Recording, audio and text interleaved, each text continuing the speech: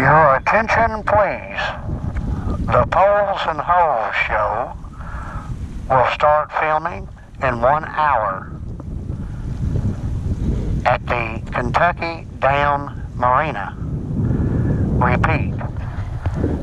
The Poles and Holes show will be filming in one hour at the Kentucky Dam Marina.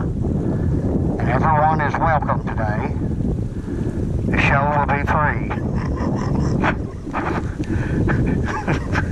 Thank you. All right. Well, I'm down here at the beautiful Kentucky Lake, and I'm right now on the Kentucky Lake Dam. Going over here to Kentucky Dam Marina and do some fishing this afternoon on this beautiful Kentucky